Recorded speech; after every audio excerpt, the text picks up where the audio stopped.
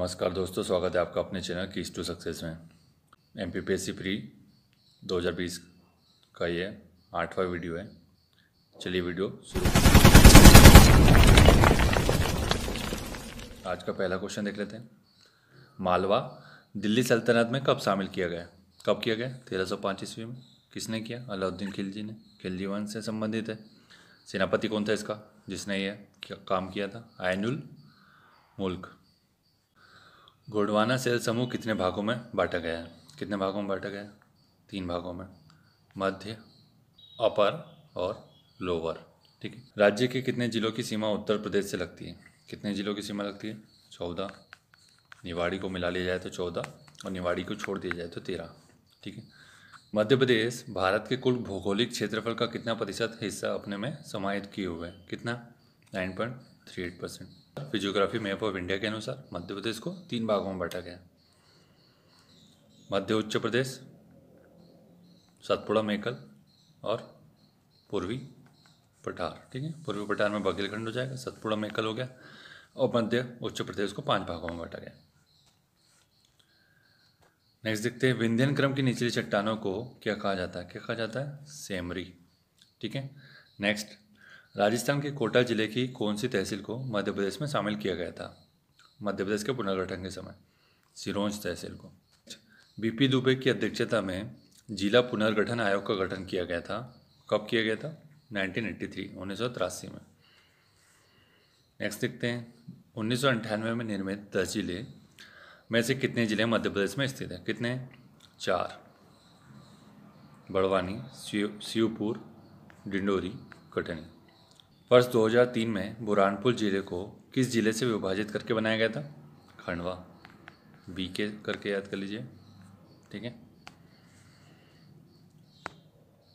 Next वर्ष उन्नीस में शिवपुर जिला किस ज़िले से विभाजित करके बनाया गया था? किससे बनाया था? मुरैना से। एस एम नेक्स्ट देखते हैं, चंबल संभाग में कौन से ज़िले आते हैं? कौन कौन से ज़िले आते हैं? तीन ज़िले आते हैं, कौन से? भिंड, मुरैना, श्योपुर, ठीक? डिंडोरी किस संभाग में आता है? किस संभाग में आता है? जबलपुर संभाग में आता है। क्वेश्चन कहीं से भी कैसा भी पूछा जा सकता है, इसलिए आपको सभी संभागों के नाम पता भी होना चाहिए और किस संभाग में कितने ज़िले आते हैं, ये भी पता होना चाहिए, ठीक है? टोटल दस संभाग हैं, ठीक है? झाबुआ किस संभाग में आता है? किस संभाग में आता है? इंदौर में आता है, ठीक है? नेक्स्ट देखते हैं, आगर मालवा किस संभाग में आता है? उज्जैन में आता है। इसके अलावा नेक्स्ट देख लेते हैं। नेक्स्ट निवाड़ी किस संभाग में आता है? किसमें आता है? सागर में आता है। तो ये मैप में हम संभाग के बारे में देख लेते हैं। भिंड, मुरैना, श्योपुर, चंबल संभाग में हो जाएगा। ग्वालियर, दतिया, शिवपुरी, गुना, अशोकनगर, ये सब किसमें हो जाएगा? ग्वालियर संभाग में। ठीक है? नीमच, मंदसौर आगरमालवा रतलाम, उज्जैन, शाजापुर। ये किसमें आ जाएगा? उज्जैन संभाग में आ जाएगा। ठीक है? इंदौर संभाग में देख लेते हैं। तो ये हो जाएगा झाबुआ, अलीराजपुर, बड़वानी, धार, खरगोन बुरानपुर खंडवा, देवास, इंदौर। ये सब इंदौर संभाग में हो जाएगा। होशंगाबाद या नर्मदापुरम संभाग में क्या क्या जाएगा? होशंगाबाद, हरदा, बैतूल। ठीक है? भोपाल संभाग में क्या हो जाएगा? भोपाल, रायसेन सीहोर और राजगढ़। ठीक है? अब क्या बचा इसके बाद? सागर संभाग देख लेते हैं। सागर में क्या आ जाएगा? सागर, दमोह, छतरपुर, टीकमगढ़, निवाड़ी और पन्ना हो जाएगा। ठीक है? नेक्स्ट देखते हैं रीवा संभाग में क्या आ जाएगा? रीवा में आ जाएगा सतना, रीवा, सीधी, सिंगरौली। ठीक है? शहडोल संभाग देख लेते हैं तो शहडोल में क्या आ जाएगा? तीन ज़िले आ जाएँगे, शहडोल, अनूपपुर और रोमारिया। ठीक? अब बचे जबलपुर संभाग। तो जबलपुर संभाग में क्या आ जाएगा? कटनी, नरसिंहपुर, छिंदवाड़ा, सिवनी, बालाघाट, मंडला, डिंडोरी। ठीक है?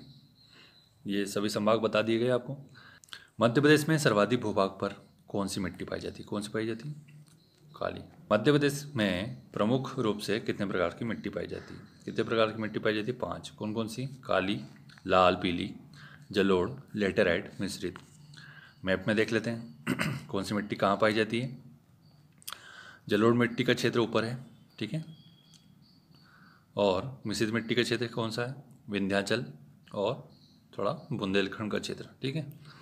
लाल, पीली मिट्टी देख लेते हैं तो बघेलखंड का क्षेत्र। में हो जाएगा लेटराइट मिट्टी, बालाघाट, छिंदवाड़ा के आसपास वाला क्षेत्र। ठीक है, साधारण काली मिट्टी का क्षेत्र सबसे सर्वाधिक है। ठीक है, ये कहाँ पाई जाती है? मालवा में,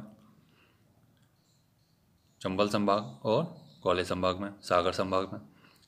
उसके नीचे जो नर्मदा घाटी, सोन, नर्मदा सोन घाटी है, उसमें गहरी काली मिट्टी पाई जाती है और उसके जस्ट नीचे जो दक्षिण भाग है, ठीक है, सतपुड़ा वाला, उसमें छिछली काली मिट्टी पाई जाती है।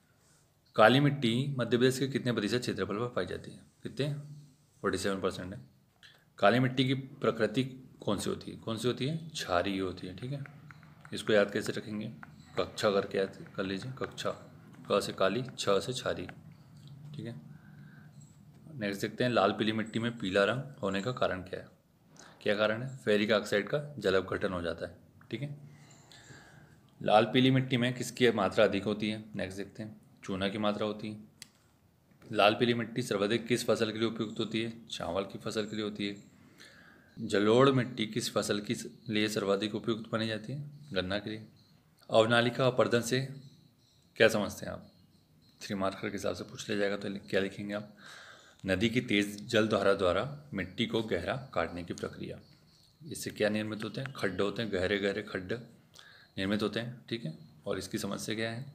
जो भिंड मुरैना में जो डाकू पाए जाते हैं, वो नर्मदा नदी द्वारा किस प्रकार का अफवाह तंत्र बनाया जाता है? किस प्रकार का? वृक्षनुमा अर्थात ऐसा। ठीक है? मध्य प्रदेश में नर्मदा नदी को किस वर्ष जीवित नदी घोषित किया गया? किस वर्ष किया गया? है 2017 में। ठीक है? नेक्स्ट देखते हैं, नर्मदा नदी का कितना प्रतिशत भाग मध्य प्रदेश में प्रभावित होता है? कितना होता है? Eighty nine point nine percent होता है। वर्धा और वैनगंगा नदी के संगम स्थल को किस नाम से जाना जाता है? किस नाम से जाना जाता है? प्राणहिता के नाम से, ठीक है? प्राणहिता नदी बन जाती है, जो कि बाद में जाकर के गोदावरी में मिल जाती है। नेक्स्ट देखते हैं, किस नदी का प्राचीन नाम क्या है? चरमावती। किसका है? चंबल का। बहुत इंपॉर्टेंट क्वेश्चन है। प्रदेश की पांचवी सबसे बड़ी नदी कौन सी है? बेतवा। मध्य प्रदेश की दक्षिण की ओर बहने वाली एक नदी कौन सी है? वेनगंगा। ठीक है? एकमात्र भी बोल सकते हैं, नहीं भी बोल सकते। ठीक है, कौन सी है? वेनगंगा। पेंच भी है, कानन भी है। ठीक है?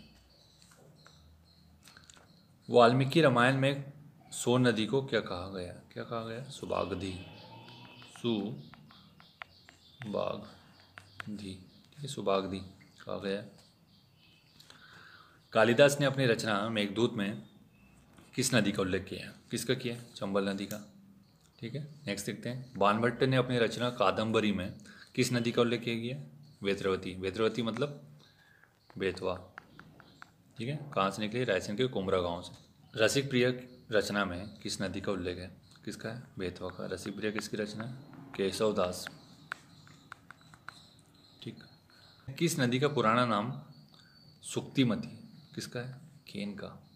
मत्स्य पुराण में किस नदी का उल्लेख मिलता है? किसका मिलता है? तमसा। तमसा यानी तमसा को पुराना इसका नया नाम क्या है तमसा का? टोन्स। सतना ज़िले से उत्कम होता है। महाभारत काल में दीदी नाम से किस नदी को संबोधित किया गया? किसको किया गया? वेनगंगा को। ठीक है? नेक्स्ट राहतगढ़ जलप्रपात किस नदी पर है? किस नदी पर है? बीणा। ठीक है? सागर में है ये जलप्रपात। बहुटी। बहुटी जलप्रपात कहाँ स्थित है? कहाँ है? बहुटी नदी पर, रीवा में। नेक्स्ट शंभुधारा जलप्रपात किस नदी पर स्थित है? नर्मदा में। ठीक है? नर्मदा पर है। अनूपपुर में। नेक्स्ट नर्मदा नदी मध्य प्रदेश के कितने जिलों से प्रभावित होती है? कितनी होती है? चौदह। नेक्स्ट शेर, चंद्रकेसर, हिरण, तिंदोली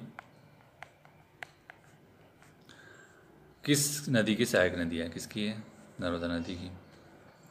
नेक्स्ट देखते हैं। कुवारी, धसान, मेज, पार्वती। किस नदी की सहायक नदी है? चंबल की। चंबल का पुराना नाम क्या है? चरमावती। ठीक है?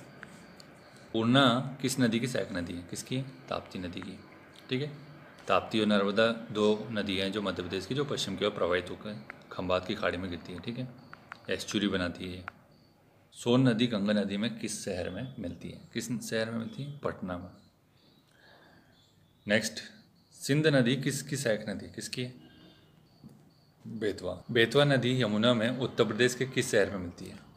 किस शहर में मिलती है? हमीरपुर में। बेतवा, ठीक है? नेक्स्ट देखते हैं, देनवा, मालिनी सुक्तवा किस नदी की सहायक नदी है? किसकी है? तवा की। गार नदी किस ज़िले से उत्पन्न होती है? किससे होती है शिवनी।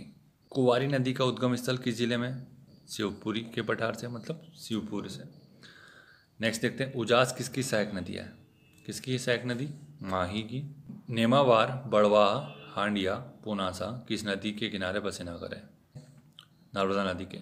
दोस्तों, वीडियो आज का हमारा यहीं समाप्त होता है। आई होप आपको वीडियो पसंद आया होगा। अगर वीडियो पसंद आया तो लाइक और शेयर कीजिए। नहीं आया तो डिसलाइक कीजिए।